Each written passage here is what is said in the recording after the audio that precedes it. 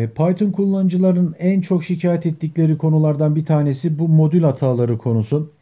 E, şimdi bu modül konuları arkadaşlar bu temelde karşılaşılan hataları e, sebepleri dört başlık altında özetlenebilir. Bunlardan birincisi Python sürümüyle ilgili olarak uyumsuzluk konuları. Diğeri işletim sistemi kaynaklı uyumsuzluk konuları.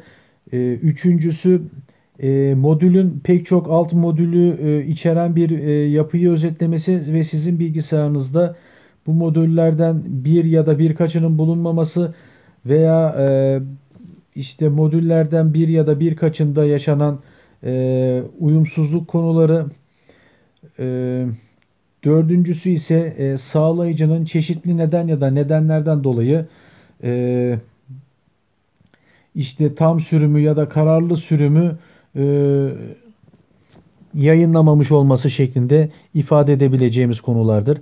Yani e, bu dört başlık altında özetleyebileceğimiz noktaya odaklanmanız durumunda e, modül kaynaklı bir program çalıştırma hatasını yaşamanız e, söz konusu değil arkadaşlar. E, bu noktada yeri gelmişken ben e, bu işletim sistemi ile ilgili konulara biraz değinmek istiyorum.